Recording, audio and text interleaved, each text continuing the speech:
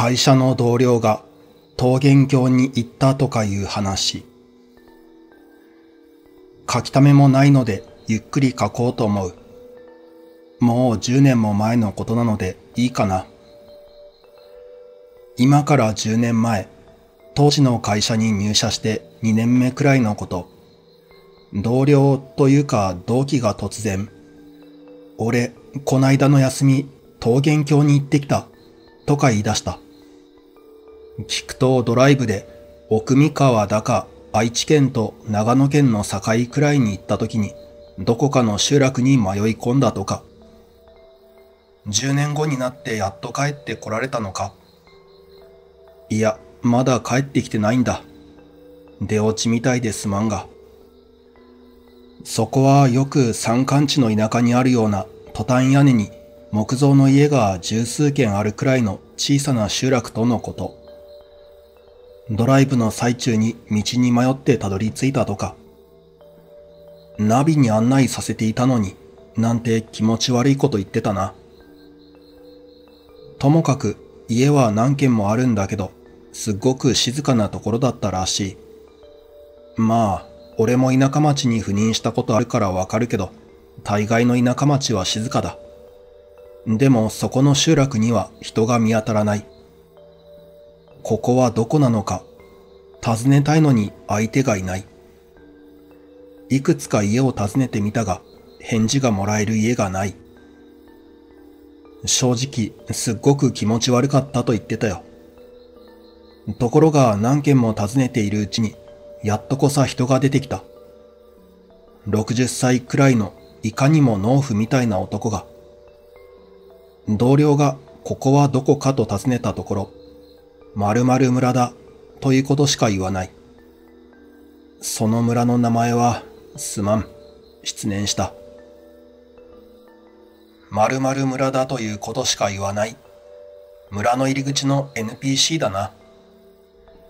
俺も同僚に突っ込んだよ。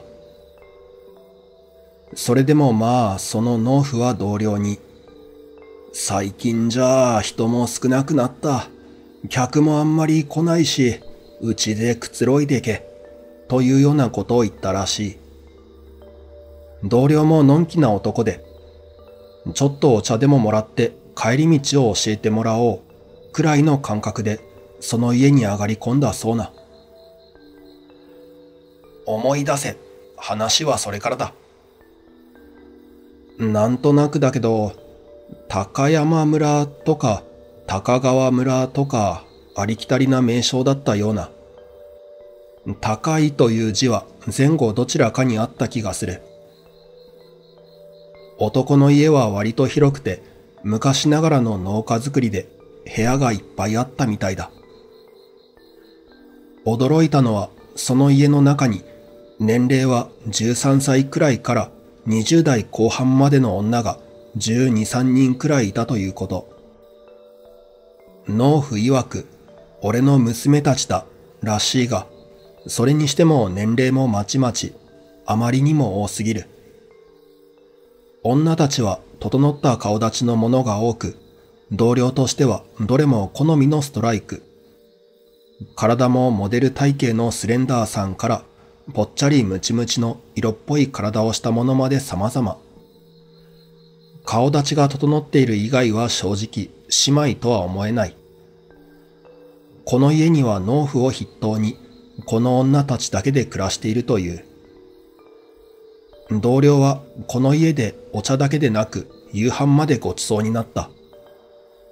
そんなことをしているうちに夜になる。夜になったら今度は遅いから止まっていけ。夜道は危ない。など言い出し、農夫が同僚を引き止めた。同僚も、これも何かの縁だろう、と考えて言葉に甘えることとした。そしてその夜、農家の一室に通され、就寝することとなった。なかなか寝つけずにいると、襖越しに小さな声で、夜分にすみません。よろしいでしょうか？と女の声が。同僚は何かと思いながらも、はい、どうぞ、とそれに応答。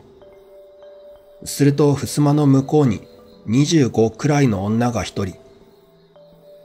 薄手の浴衣みたいなものを着込んで、胸の谷間がすでに見えていたとのこと。あまりにも艶っぽい姿に同僚がドキドキしていると、女はスルスルと部屋に入ってきた。そして同僚の布団に近づき、そのまま同僚に抱きついてきた。同僚が狼狽していると、こういうことはお嫌いですか？と、吐息混じりの妖艶の声。同僚は理性も吹っ飛び、そのままジョージへと突入したそうな。こうして女とのジョージをひとしきり楽しむと女は出て行った。同僚もその時は旅の思いがけない出来事にホクホクしていたらしい。しかしこの後、再び襖の向こうから、夜分にごめんください、という女の声が。声からして先ほどの女ではない。同僚はまたも、どうぞ、と答えると、開いた襖の向こうに、今度は10代の女が座っている。まあ、年の頃が10代だろうという程度だが、その女もまた同僚に近づき、ジョージを求めてきた。同僚は驚きつつも、その女ともしてしまった。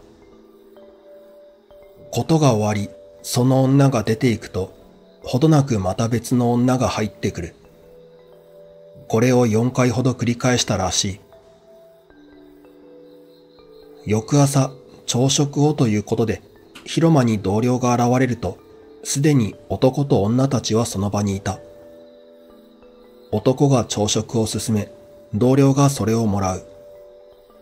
女たちは海外しくご飯をよそったり、お味噌汁やおかずを持ってきて男をもてなす。同僚はなんか殿様にでもなった気分だったとのこと。そのうち男がまあ、今日もゆっくりしていきなさい、と声をかけ、同僚もそれに乗ってしまった。そうは言ってもどうやって過ごそうか。こうした田舎でのんきに時を過ごすのも悪くないなと思い、日中、その集落をぶらぶら歩いた。すると、行く先に女たちが現れる。必ず一人ずつで。そして昨夜のように同僚の体を求めてくる。同僚も体力が続く限り、女の欲求に応え、常時を繰り返す。そんな日が3日ほど続いた。ちょうどゴールデンウィーク中でもあり、時間があった。それがために長投留となってしまった。さすがに会社もあるし、帰りますということを男に言うと男は、そうか、必ずまた来なさいというようなことを言って、帰りの道順を教え、手書きの地図を持たせた。それで同僚は帰宅し、今回の話をしてくれたわけだ。この話を聞いて、さすがに俺も嘘だろと言ってしまった。あまりにも話が美味しい。というか怪しすぎるし嘘っぽい。ところが同僚は写真も撮ってきたと言って携帯のカメラで撮った画像を見せてくれた。そこには同僚と女が10人くらい、あと農夫みたいな男が映っていた。女の一人がシャッターを押したそうで、その女だけは映っていないとか。男は前述した通り、いかにも田舎のお百姓さんといった感じ。女の年齢バラバラ、それぞれ綺麗だったり可愛かったり、好みの問題になるけど、服装は着物のものもいれば今用な服装なものまで、それでも若干昭和の感じはした気がする。同僚はまた休みの日に行くんだと言ってニコニコしていた。会社の休日になるとドライブに出かけていたから、おそらくその集落に出かけていたんだろうか。道順も教えてもらったらしいから、迷わずたどり着けるようになったのかな。そして一年くらい経ち、同僚は会社に現れなくなった。女性たちは外の情報を与えずに囲ってるのかな同僚はそこに住み着いたとか外の情報があるかどうかはわからない。でも服装も和装から10年前当時のいかにもな今時な服を着てる子もいた。全く外界から遮断されてるわけじゃないかもしれない。同僚は多分あの集落に行ったんだろうなと思ってる。が、今考えると、なんかの宗教でもやってる家なのかもしれない。いずれにしても同僚とはそれ以降連絡は取れない。ゴールデンウィーク近くになり思い出したので、なんとなく伝聞したものをつらつらと聞いてみた。つまらんかったら申し訳ない。気持ちの整理じゃないけど、なんとなく聞いて欲しかった。願わくば同僚の目に留まることを願う。場所特定して行ってみようぜ。それがよくわからんのよ。奥三河だか、愛知、長野、静岡くらいの県境としか手がかりがない。同僚がいなくなり、何回か別の同僚とその辺りを回ってみたんだよね。もちろんたどり着けませんよ、これが。聞いた村の名前もあんまり覚えてない。